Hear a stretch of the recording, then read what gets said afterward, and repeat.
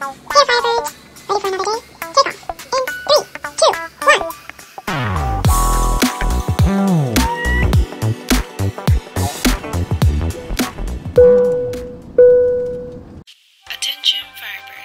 is your Captain Yoon speaking.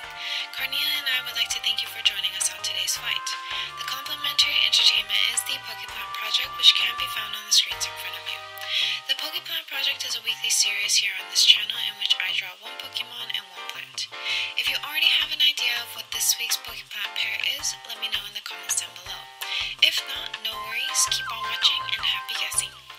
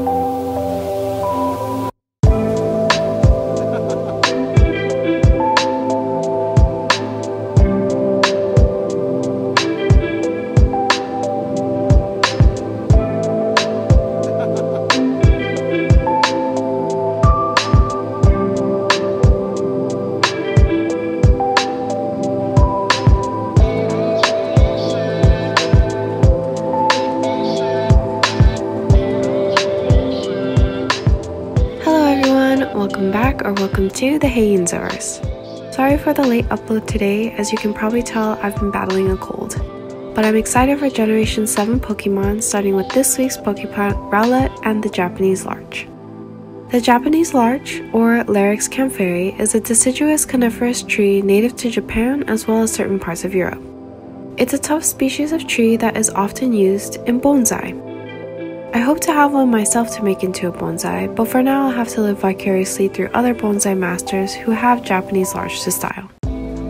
In addition to loving the look of this tree, I also wanted to draw it as tribute to Suga of BTS because according to Korean birth flowers, his is the larch. Have you seen a Japanese larch before? And are you interested in bonsai? Let me know in the comments below and congrats if you guessed this week's Pokeplant.